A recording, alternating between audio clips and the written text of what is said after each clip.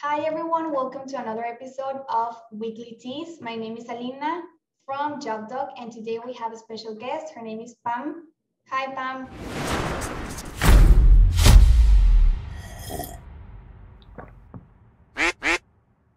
Hi. How was your experience as a candidate?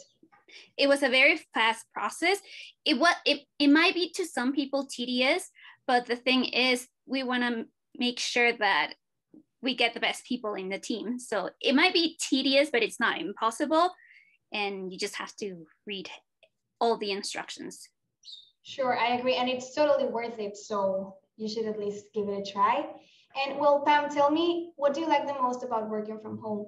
Right now that I'm doing home office, I like that time that I use, well, that I used to use commuting, I use it to do like daily tasks that I don't like, but you know, have to keep the house clean.